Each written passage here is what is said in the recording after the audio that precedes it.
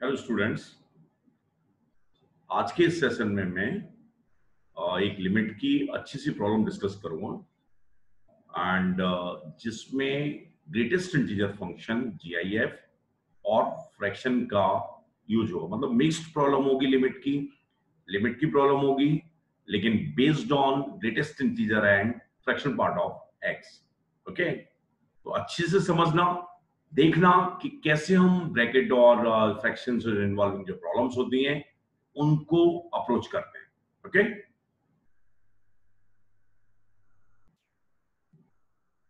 ध्यान से देखिए, अगर मेरे पास करली ब्रैकेट है स्टैंडर्ड साइन भी है एंड ये फ्रैक्शन पार्ट फ़ंक्शन है and bracket G I F है greatest integer function not greater than x standard है तो मुझे लिमिट सॉल्व करनी है x approaches to zero e raised to fraction x minus 1 upon x minus uh, bracket x and 3 upon x square minus uh, fraction of uh, sin x plus bracket of x bracket of x okay तो मैंने आपको बताया कि चाहे x कैसा हो आ, अगर कोई लिमिट ऐसी है जहाँ पर ब्रैकेट फ्रैक्शन या मॉड इन्वॉल्व है ओके ब्रैकेट इन्वॉल्व है फ्रैक्शन इन्वॉल्व है या मॉड इन्वॉल्व है तो मुझे ज़रूर राइट ब्रैकेट इन्वॉल्व है फ्रैक्शन इन्वॉल्व है, या मॉड इन्वॉल्व है।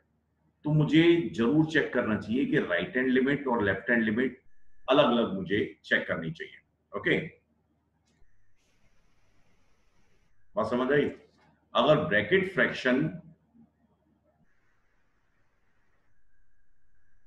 अगर मेरे पास ब्रैकेट फ्रैक्शन और मॉड इन्वॉल्व है किसी प्रॉब्लम में तो मुझे इसेंशियली चेक करना चाहिए कि लाइक राइट हैंड लिमिट और लेफ़्ट हैंड लिमिट कहीं ऐसा तो नहीं है अलग लगा रही है। ठीक है ना? तो यहाँ ब्रैकेट और फ्रैक्शन है। दैट्स वाई मुझे zero plus and zero minus के लिए अलग से सॉल्व करना चाहिए। Okay okay?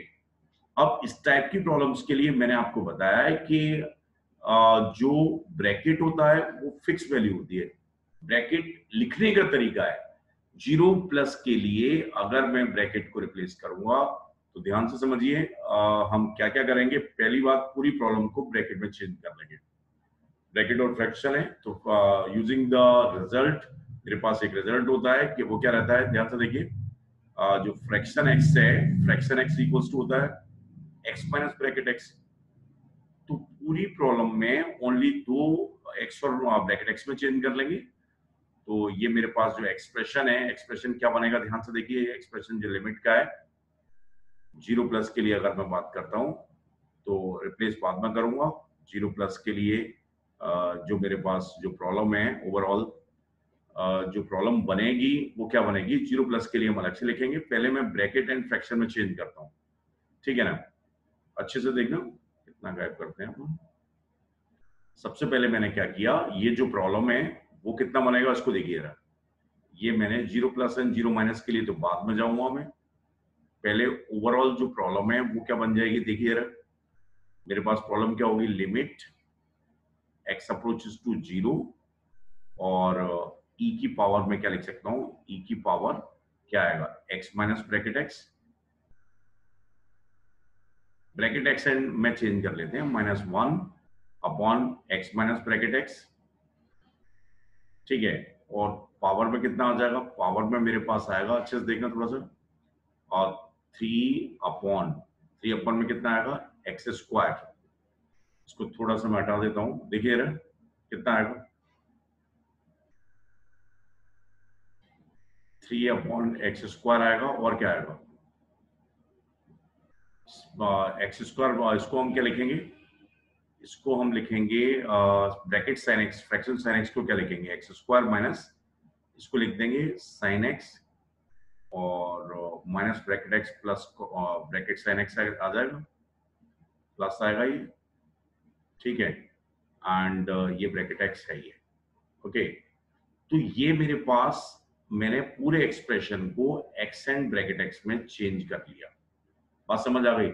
ये मेरे पास काम की बात हुई कि यहाँ पर मैंने आ, कोई भी ऐसा कोई कंसेप्ट यूज़ नहीं किया कि zero plus and zero minus में अभी चेंज करूँ। सिंपल ब्रैकेट है तो मैंने ब्रैकेट एंड फ्रैक्शन है और इस टाइप की प्रॉब्लम मैं जानता हूँ कि मुझे इसमें चेंज कर देना चाहिए? मुझे एक्स और ब्रैकेट में चेंज कर लेना चाहिए। ठीक है ना? इसके बाद मैंने क्योंकि मुझे मालूम है कि फ्रेक्स इसमें क्या क्या इन्वॉल्व है। इसमें जो इन्वॉल्व है वो क्या क्या है? ढंग से समझिए। इसमें इन्वॉल्व मेरे पास ब्रैकेट है तो राइट हैंड लिमिट और लेफ़्ट हैंड लिमिट दोबारा से हम सॉल्व करना चाहिए, अलग से लिखना चाहिए। तो उसे अब मैंने लिखना स्टार्ट किया, अच्छे से देखना। ज़ीरो प्लस की बात होगी तो मैंने ज़ीरो प्लस के लिए समझा। तो ज़ीरो प्लस के लिए जो लिमिट है लिमिट कितना आएगा उसको देखा पहले मैंने। ज़ीरो प्लस को किससे क्या रिप्लेस करेंगे? ज़ीरो प्लस की अगर मैं बात करूँगा तो ज़ीरो प्लस के लिए ब्रैकेट एक्स कितना आता है? एग्जैक्टली exactly ज़ीरो आता है। तो ये रिप्लेस हो जाएगा। ज़ीरो प्लस पे ब्रैकेट साइन एक्स की वैल्यू कितनी आएगी? ब्रैकेट साइन एक्स की वैल्यू आएगी मेरे पास। एग्जैक्टली ज़ीरो आएगी। तो और ज़ीरो प्लस के लिए जो एक्सप्रेशन है, यही तो आना है। तो हमारे पास लिमिट क्या बन जाएगी? ध्यान से समझिए। Limit x approaches to zero plus और राइट हैंड लिमिट के लिए ये क्या बन गया? ये कांस्टेंट है रिप्लेस कर सकते हैं। लिमिट हम एट वन टाइम नहीं लेते हैं, लेकिन ब्रैकेट क्या होता है? ब्रैकेट लिमिटिंग वैल्यू नहीं होता। ब्रैकेट क्या रहता है? फिक्स रहता है। तो ये मेरे पास कितना आता है ई e की power x minus one upon x raise to कितना आएगा? रेस टू आएगा थ्री अपॉन और ये ज़ीरो हो जाएगा ये ज़ीरो हो जाएगा अपन में कितना आएगा? X square minus sine x okay इतना आ गया। इसमें तो कोई दिक्कत नहीं। अब इस लिमिट को सॉल्व करने के लिए कोई स्टैंडर्ड है? आ, मैं क्या अप्लाई करूँगा? बताइए क्या अप्लाई करूँगा? ये वन की ओर जा रहा है। और ये इन्फाइनाइट की ओर जा रहा है तो वन की पावर इन्फाइनाइट तो ई e की पावर क्या आता है? F x minus one into g x तो ये कितना आ जाएगा? ई e की power limit x approaches to zero f x minus one कितना आएगा? ई e की power x minus one minus x upon x into g x कितना आएगा? जी एक्स ये वाला पूरा फ़ंक्शन आएगा three upon x square minus sine x ऐसा कुछ आ जाएगा। बात समझ आ गई? ठीक है ना? नाउ फोकस करना कि अब मैंने क्या किया क्या किया जाए? भाई थोड़ा सा टेंशन नहीं है? क्या किया जाए? तो इसको देखिए कि e की power x minus one minus x upon x square ये एक स्टैंडर्ड लिमिट होती है। e की power x minus one minus x upon x square एक स्टैंडर्ड लिमिट होती है लिमिट रहती है। यहाँ पे x का मल्टीप्लाई किया। तो ये मेरे पास ऐसा आ गया। बात समझ आ गई? अब ध्यान से देखना, अब क्या किया जाए भाई? अब भी पंगा है, अब भी सॉल्व करने में दिक्कत है। तो मैंने क्या किया कि ये लिमिट तो मेरे पास आ गई। ये वन बाई टू होती है। स्टैंडर्ड लिमिट है। और यहाँ पे अगर हम देखते हैं तो ये मेरे पास कितना आएगा? ये कितना आ जाएगा? एक्स से डिवाइड करें तो ये zero sine x minus one आ जाएगा। तो ये मेरे पास आएगा। E की पावर कितना आ जाएगा? एक्स अप्रोचेस टू ज़ीरो के लिए एक्स को कॉमन ले लिया। एक्स से डिवाइड कर दिया तो ये ज़ीरो में जाएगा। यहाँ पर माइनस वन बन जाएगा तो ये थ्री तो माइनस थ्री बाई टू मेरे पास राइट हैंड लिमिट आ गई। ओके बात समझ आई? अब कंसेंट्रेट करिए। जो ये लिमिट है मेरे पास ये लिमिट मैंने यहाँ पे किस फैक्ट का यूज़ किया है कि ये जो लिमिट होती है आ, इसके लिमिट के बारे में मैं बता दूँगा आपको ये कैसे आती है? राइट हैंड लिमिट मेरे पास इस प्रॉब्लम में आ चुकी है ई e की power minus three by two okay and left hand limit की अगर मैं बात करता हूँ इसमें क्या क्या यूज़ किया है? आ, उसका भी हम देख लेंगे कि यहाँ पे मैंने इसको यूज़ किया है कि e की power x minus limit x approaches to zero अभी इसे डेरिवेटिव रूल से कर लो। अभी हमारा कंसर्न ये नहीं है वैसे विदाउट डेरिवेटिव भी कर सकते हैं। Minus one minus x upon x square है। ये लिमिट कितनी आती है? ये लिमिट आती है मेरे पास x approaches to zero e की power x minus one upon two x and ये आ जाएगा वन बाई टू इसका यूज़ किया है। और दूसरा जो यूज़ किया था यहाँ पे हमने, वो क्या यूज़ किया था? Three x upon x square minus x. तो three x upon x square minus x भी कोई बहुत बड़ी बात है नहीं। इसे भी मैं बता तो देता ही हूँ थोड़ा सा fast now focus here three x upon x square minus one limit x approaches to zero के लिए। एक्स अप्रोचेस टू ज़ीरो के लिए three x upon x square minus one, x square minus sine x. तो इस limit को जब हम solve करेंगे तो ये मेरे पास कितना आ जाएगा? X approaches to zero derivative rule ही लगा दिया। तो ये मेरे पास कितना आएगा? Two x minus cos x तो ये कितना आ गया? माइनस थ्री आ गया। ओके तो इन दोनों का यूज़ करके मैंने इस लिमिट को e power minus three by two कर दिया इसमें कोई भी दिक्कत नहीं ओके लेकिन अगर मैं right hand limit left hand limit की बात करूँगा, उसको फोकस करना। जब मैं लेफ़्ट हैंड लिमिट की बात करूँगा तो लेफ़्ट हैंड लिमिट में मैं क्या करूँगा? ब्रैकेट एक्स को किससे रिप्लेस करूँगा? अगर मेरे पास एक्स ज़ीरो माइनस है तो ब्रैकेट एक्स की वैल्यू कितनी आएगी? ब्रैकेट की वैल्यू आएगी minus one exactly bracket sine x की वैल्यू कितनी आएगी? ये भी माइनस वन आएगी नेगेटिव होता है। सही है? तो जो लिमिट का एक्सप्रेशन है, वो मेरे पास क्या बन जाएगा? उसको चेक करिए। X approaches to zero minus और यहाँ क्या बन जाएगा? ई e की power x plus one minus one upon x plus one और ऊपर कितना आएगा? थ्री अपॉन कितना आएगा? X square minus sine x plus minus one minus one सही है। नाउ फोकस ईयर ये मेरे पास कितना जा रहा है? ये जा रहा है ई माइनस वन ज़ीरो में चला जाएगा। अपॉन में क्या आ रहा है? तो ये लिमिट आई तो उसको सिंप्लीफाई करने की ज़रूरत है नहीं। ये ज़ीरो जा रहा है, ये ज़ीरो जा रहा है तो ई माइनस वन और पावर किस तरफ़ जा रही है?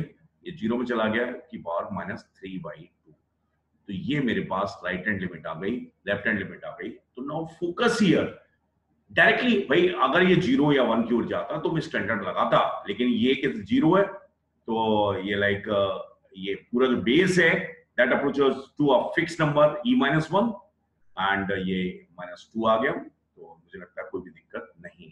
ठीक है ना? तो ये काफ़ी इंटरेस्टिंग प्रॉब्लम है, काफ़ी कुछ है इसमें सीखने के लिए। पहली बात तो ये है कि इस टाइप की सभी प्रॉब्लम्स के लिए मैंने आपको बताया है कि एक्स एंड फ्रैक्शन एक्स मतलब आप इस प्रॉपर्टी का यूज़ करिए, इस प्रॉपर्टी का यूज़ करिए, इस प्रॉपर्टी का मतलब फ्रैक्शन को ब्रैकेट में चेंज करिए। इसकी जनरलाइज फॉर्म क्या है? कि जहाँ भी फ्रैक्शन से रिलेटेड कुछ आ रहा है तो उसे मैं ब्रैकेट में चेंज कर लू जहाँ भी फ्रैक्शन से रिलेटेड कुछ है तो उसे मैं ब्रैकेट में चेंज कर लू। ओके इसके बाद क्या बात है? क्योंकि ब्रैकेट आ गया तो आप किसे किससे रिप्लेस कर सकते हैं, इस पर फोकस करना है। तो ब्रैकेट तो फिक्स नंबर होता है? अगर ब्रैकेट फिक्स नंबर होता है तो मुझे रिप्लेस करने वाला जो टर्म है, वो देख लेना चाहिए। तो ज़ीरो प्लस के लिए ब्रैकेट एक्स ज़ीरो आया ब्रैकेट साइन एक्स ज़ीरो आया। ठीक है ना? ज़ीरो माइनस के लिए bracket sine x minus one आया एंड ये भी नेगेटिव होता है तो ये माइनस वन आया, कोई दिक्कत नहीं है। ब्रैकेट, जैसे minus point zero zero one, उसका ब्रैकेट कितना आएगा? माइनस वन आएगा। इसके बाद बात आई कि इसके बाद तो कोई टेंशन है नहीं भाई, जो नॉर्मल लिमिट सॉल्विंग का तरीका होता है, उसका मैंने यूज़ किया है तो उसमें कोई टेंशन है नहीं। ये नॉर्मल मेरे पास एक्सप्रेशन ये बना एंड ये बेस वन की ओर जा रहा था वन की पावर इन्फानेट तो ई e की power f x minus one into g x उसका यूज़ किया। और यहाँ पर क्या है, ये कोई दिक्कत नहीं एक नॉर्मल से नंबर में कन्वर्ट हुआ तो डायरेक्ट लिमिट को सब्सटीट्यूट कर दिया। तो मेरे पास ये इस टाइप के एक्सप्रेशन बन गए यहाँ पे और मुझे लगता है इसमें कोई भी दिक्कत नहीं है और ये अच्छे से समझ में आ गया। ओके तो फाइनली आंसर क्या हुआ limit does not exist and limit does not exist से ज़्यादा काम का क्या है कि कैसे मैंने ये प्रॉब्लम सॉल्व किया है और मुझे लगता है ये अच्छे से समझ में आ गया है। तो इसमें कोई भी टेंशन नहीं। ओके थोड़ा सा यूज़ इसका हुआ, इन दोनों लिमिट्स का यूज़ हुआ तो ये मैं इसमें भी कोई दिक्कत है नहीं, मुझे लगता है ये दोनों के दोनों काफ़ी आसान है, और ये समझ में आ गया। ओके ठीक है ना?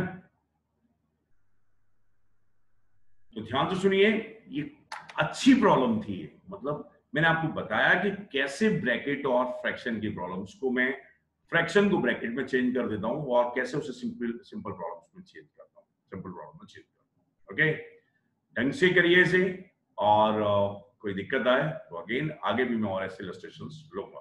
ओके